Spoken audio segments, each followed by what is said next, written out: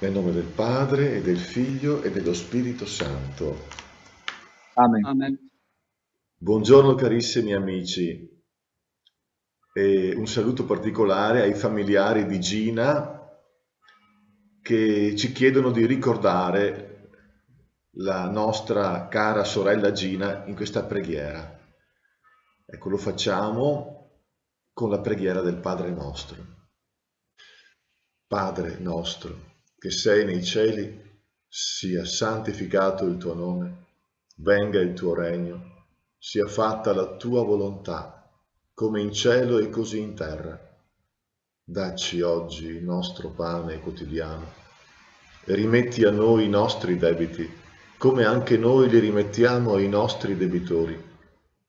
E non abbandonarci alla tentazione, ma liberaci dal male.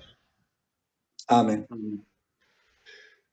Ieri abbiamo letto il Vangelo, capitolo 1 di Marco, eh, con Gesù nella sinagoga di Cafarnao in giorno di sabato, dove scacciava eh, il demonio da un uomo posseduto. Subito dopo eh, l'uscita dalla sinagoga, ecco quello che succede, lo ascoltiamo dalla voce di Claudio. Dal Vangelo secondo Marco.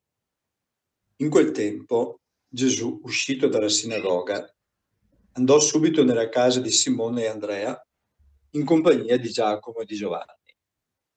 La suocera di Simone era a letto con la febbre e subito gli parlarono di lei. Egli si avvicinò e la fece alzare prendendola per mano. La febbre la lasciò ed ella gli serviva. Venuta la sera, dopo il tramonto del sole, gli portavano tutti i malati e gli indemoniati. Tutta la città era riunita davanti alla porta. Guarì molti che erano affetti di varie malattie e scacciò molti demoni, ma non permetteva ai demoni di parlare perché lo conoscevano. Al mattino presto si alzò, quando ancora era buio e uscito si ritirò in un luogo deserto e là pregava. Ma Simone e quelli che erano con lui si misero sulle sue tracce. Lo trovarono e gli dissero, tutti ti cercano. E gli disse loro, andiamosene altrove, nei villaggi vicini, perché io predichi anche là per questo infatti sono venuto. E andò per tutta la Galilea, predicando nelle loro sinagoghe e scacciando i demoni. Parola del Signore. Lode a te, Cristo. La giornata di Gesù è iniziata con il Vangelo di ieri eh, in sinagoga a Cafarnao. Subito dopo usciti dalla sinagoga e i protagonisti sono Gesù con Simone, Andrea, in compagnia di Giacomo e Giovanni, vanno nella casa di Simone e Andrea e lì gli parlano della suocera che era a letto, la suocera di Simone. Era a letto con la febbre. Gesù subito si prende cura di lei avvicinandosi e facendola alzare, prendendola per la mano. Immediatamente la febbre la lascia ed ella comincia a servirli. Abbiamo sentito che venuta la sera eh, arriva davanti alla casa di Simone tutta la città portando ammalati e indemoniati. E Gesù si prende cura di tutte queste persone, guarendo molti affetti da varie malattie e scacciando molti demoni. Ha un successo straordinario, si era dedicato a una singola persona in sinagoga, a una singola persona in casa di Simone, ora ce le ha tutte davanti alla casa di Pietro. e si dedica nei loro confronti per aiutarli. Al mattino però sorprende tutti, senza avvisare nessuno, si alza presto, quando ancora era buio, esce e va in un luogo deserto a ritirarsi in preghiera. Qui è interessante notare che Gesù non avverte nessuno, non sente il bisogno di comunicare a nessuno che fa questa cosa, perché è una priorità assoluta. Ritirarsi in preghiera e lì è solo lui, non c'è nessun altro, è solo lui, non ci sono gli amici, gli apostoli, è un bisogno assoluto, un'esigenza prioritaria. Se la ricava al mattino presto quando non disturba nessuno. Ne ha bisogno Gesù.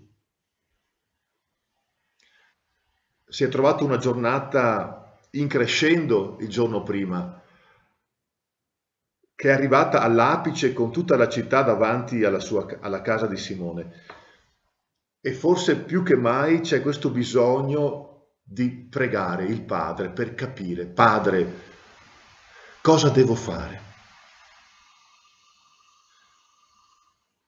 Per ricordarsi o per comprendere ancora più con chiarezza, Padre, qual è la mia missione? Perché mi hai chiamato qui? Che cosa devo fare?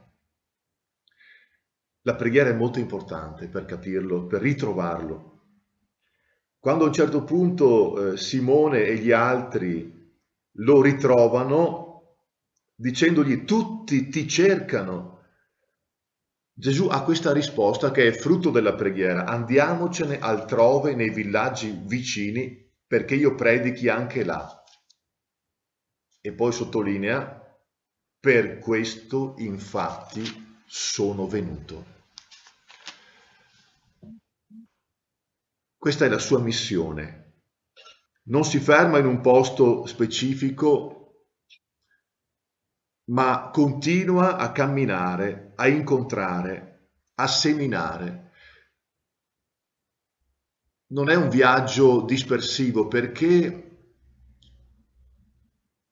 in questo viaggio lui semina la parola e la parola rimane Se il terreno è buono, la parola può fiorire. Infatti dice, perché io predichi anche là. Per questo infatti sono venuto.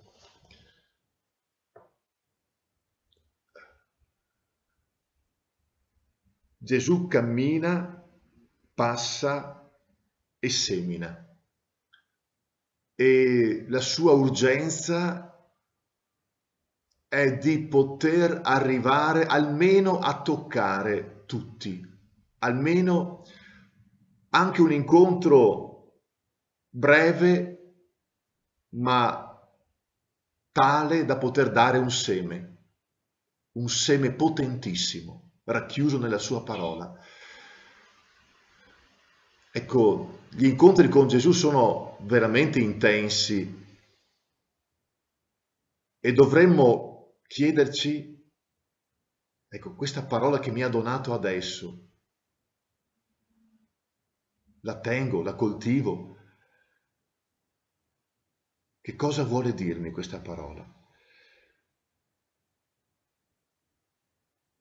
Ecco, Gesù si sottrae al rischio di essere idolatrato come guaritore, di essere messo su un trono di gloria umana, non gli interessa tutto questo. Gli interessa salvare le persone, le anime, riportarle alla luce.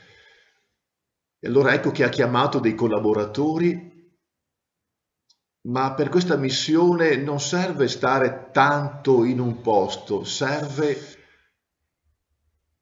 passare, donare il seme può essere fermarsi un po', un po' di più, un anno, anche di più, ma non è una questione di tempo, è una questione di donare un seme che ha l'efficacia del regno di Dio. A noi quindi la responsabilità di accogliere un dono immenso che ogni mattina ecco, ci viene rinnovato affinché ecco, non lo lasciamo sprecato o perduto.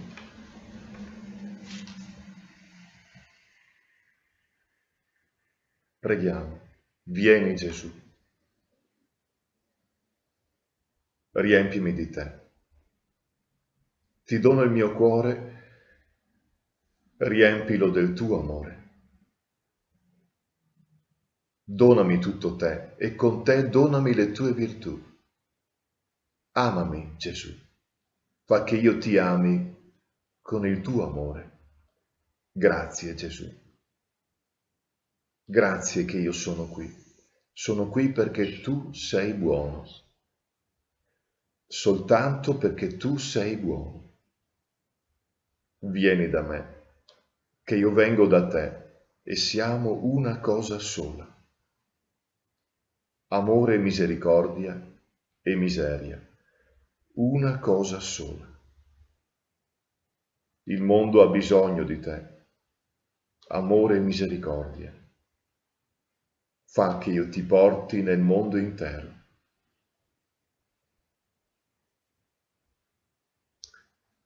Il Signore sia con voi e con il tuo spirito per intercessione della Mamma Celeste vi benedica Dio Onnipotente, nel nome del Padre e del Figlio e dello Spirito Santo.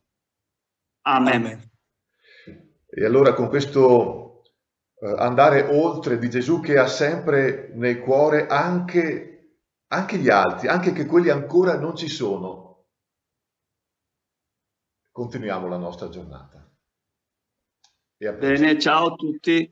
Ah fa, fate che questo seme possa attecchire con un po' di acqua ogni giorno, verrà, verrà una pianta grande. Ciao a tutti. Ciao, caro. Buona giornata, allora con Gesù.